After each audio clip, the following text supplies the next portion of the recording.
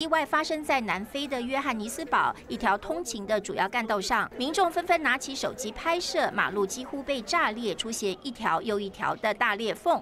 从空拍画面来看，马路断成一片片，车辆到处横躺，看起来超像玩具积木。当地的民众居然没有在怕，在炸裂的马路上到处走动。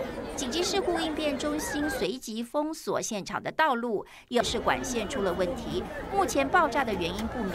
恐怖的瞬间还有这一幕：阿根廷一名女子正在过斑马线，原本相当悠闲，下一秒两台黑色的车辆高速冲过来，就在女子面前猛力相撞，接着立刻朝两边分开，只差一点点，女子就要被撞上，惊险躲过被夹击。她随即站在分隔岛上，惊魂未定。恐怖的行人地狱让人胆战心惊。记者综合报道：美国总统拜登今天到宾州费城造船厂推销他的拜登经济学，但是网友最关注的是这个画面：拜登在结束之后呢，突然在台上来一段即兴演出，他好像在跟看不到的人打招呼。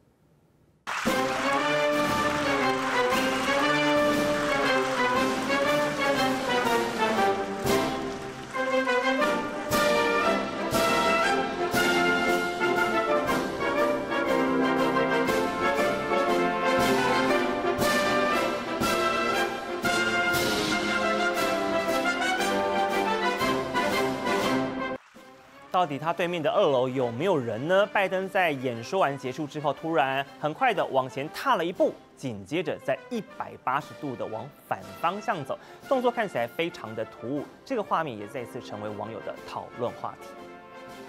拜登已经八十岁了，从二零二一年的一月就任到现在呢，已经被。多次拍到很多场合当中，他都是跌倒或是被绊倒的惊险场面。根据美国政治新闻网站的报道，拜登近年来搭总统专机空军一号的时候呢，已经开始走距离比较接近地面、靠近机腹的短梯上下专机，避免再发生跌倒的情况。而以下就是拜登在不同。登机的情况之下，哦，有一些差异的情况出现。那根据美国政治新闻网指出呢，拜登的两名幕僚现在私下也承认了，是刻意让八十岁的拜登走比较矮的梯子，因为可以降低摔倒的可能性。美国媒体更指出，拜登虽然曾经认为除了正式皮鞋，其他鞋子都不够体面，但他最近几个月不再这么的坚持了，有些场合改穿球鞋亮相。刚过一百岁生日的美国前国务卿季辛吉十九号无预警的出访北京，也获得了大陆国家主席习近平亲自接见。习近平借五十二年前中美关系正常化，表达中美应该合作，还说不会忘记老朋友。对比之前美国高层访中的待遇，这是完全没有办法能够相提并论的。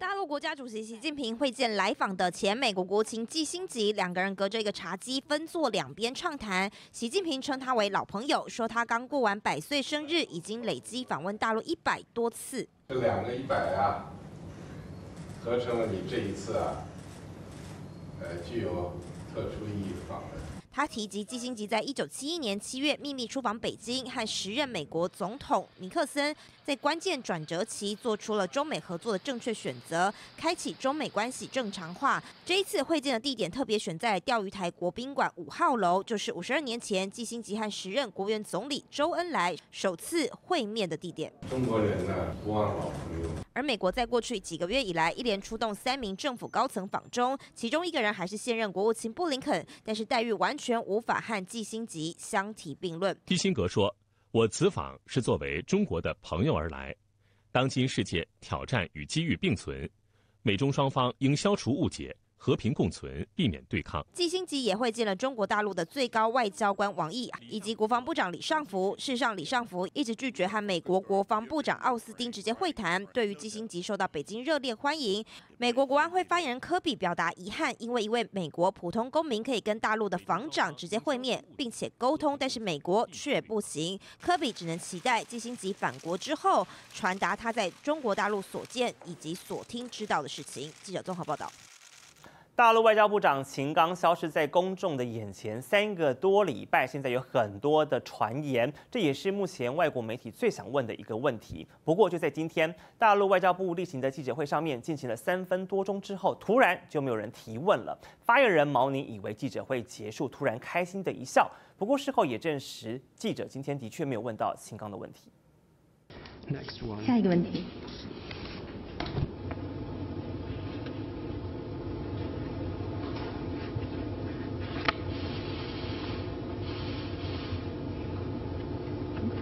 其他问题了。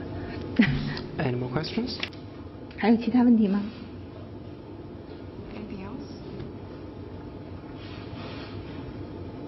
那好，今天的记者会到此结束，祝大家周末愉快。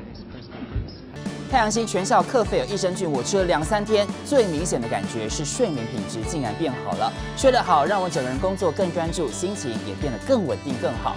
因为太阳星全效克菲尔益生菌，才让我认识到克菲尔益生菌，它是由多支菌种的益生菌所组合而成，不仅能够维护消化道机能正常运作，还拥有多种有益健康的保健功能，相当强大。